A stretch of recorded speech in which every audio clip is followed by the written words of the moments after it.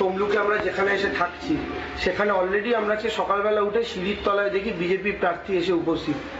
তমলুক শহরে তৃণমূল কংগ্রেসের প্রার্থী দেবাংশু ভট্টাচার্যের ভাড়া করা বাড়িতে ধরা পড়ল সাপ।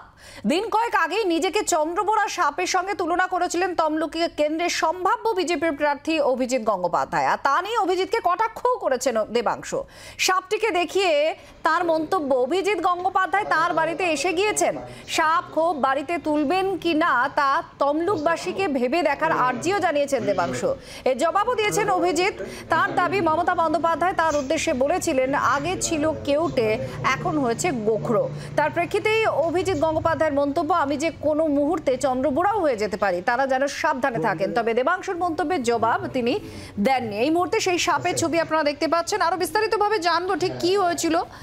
আমাদের সঙ্গে কিরণ মান্না, আমাদের প্রতিনিধি রয়েছেন।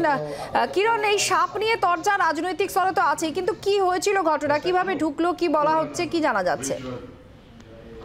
দেখো দেবাংশু ভট্টাচার্য, তৃণমূল কংগ্রেসের তমলুক লোকসভা কেন্দ্রের প্রার্থী। তিনি তমলুক শহরে একটি বাড়ি ভাড়া নিয়েছেন, এই নির্বাচন প্রাককালে সেই বাড়িতে আজকে হঠাৎ করে একটি বিষধর সাপ তার সিঁড়ির তলায় এসে হাজির হয়।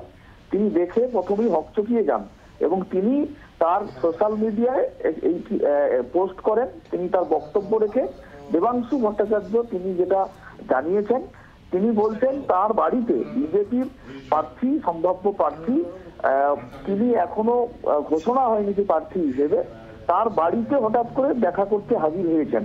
তবে সেই দেখা করতে হাজির হয়েছেন নাকি তাকে দংশন করতে এসছেন, এ নিয়ে তিনি নিশ্চিতভাবে বলতে পারেননি। তিনি বলছেন যে সম্প্রতি অভিজিৎ গঙ্গোপাধ্যায় তিনি কটাক্ষ সুরে বলেছিলেন যে তিনি যে কোনো মুহূর্তে যে কোনো বাড়িতে পৌঁছে যেতে পারেন।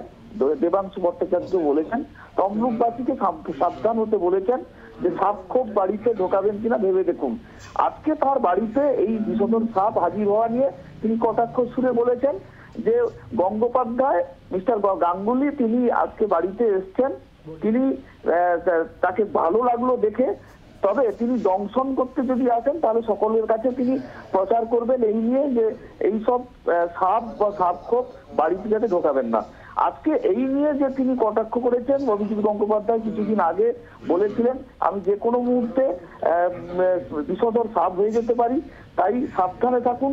সেই কথাকে টেনে এনে আবারও আজকে বললেন যে আজকে এই সাপ তার বাড়িতে এসে গেছে প্রত্যেকের বাড়িতে যেতে পারে এবং সকলে সাবধান থাকুন এবং এই যে তার সোশ্যাল মিডিয়ায় তিনি পোস্ট করেছেন সেই সাপের ছবি সহ তার বক্তব্য যথেষ্ট তমলুক শহরে আলোড়ন করেছে এবং একটা যেমন হাস্যস্কর পরিস্থিতি তৈরি হয়েছে তেমনি একটা তিনি যে প্রচার করবেন বলেছেন এটা নিয়ে তার রাজনৈতিক যে এই যে প্রতিদ্বন্দ্বিতার মধ্য দিয়ে যে প্রচার সেটা নিয়েও একটা আলোড়ন কিরণ। ধন্যবাদ। এই এই পরিস্থিতি অর্থাৎ এই- যে রাজনৈতিক বিতণ্ডা উঠে এসেছে তা নিয়েও আহ, আপনাদের বক্তব্য শোনাবো। দেবাংশু ভট্টাচার্য তিনি কি বলেছেন? তৃণমূল কংগ্রেসের প্রার্থী এবং অভিজিৎ গঙ্গোপাধ্যায় বিজেপির সম্ভাব্য প্রার্থী মনে করা হচ্ছে তমলুকের।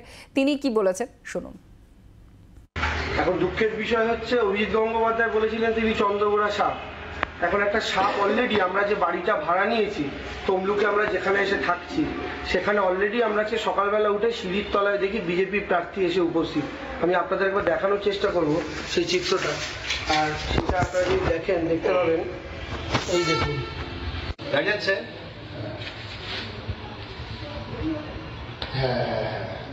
আজকের দিনে প্রার্থী স্বয়ং তার প্রতিদ্বন্দ্বীর সাথে দেখা করতে চলে এসেছেন। আমাদের খুব ভালো লাগছে, আমরা বন দপ্তরে খবর নিয়েছি। বন দপ্তর এসে বিজেপি প্রার্থীকে নিয়ে পুনরায় চলে যাবেন। হ্যাঁ বলেছি তো। হ্যাঁ আমি বলেছি। আমি বলেছি যে মমতা বন্দ- বন্দ্যোপাধ্যায় আমাকে বলে মানে আমাকে উদ্দেশ্য করে বলেছিলেন যে আগে ছিল কেউটে এখন হয়েছে গোখরো। শুধু গোখরো না চন্দ্রগুড়াও হতে পারি আপনারা সাবধানে থাকবেন। সেটা নিয়ে পাল্টা দেবাংশু যদি মন্তব্য করেছে কে দেবাংশু? বাংলার আওয়াজ বাঙালির আবেগ। জি চব্বিশ ঘণ্টা।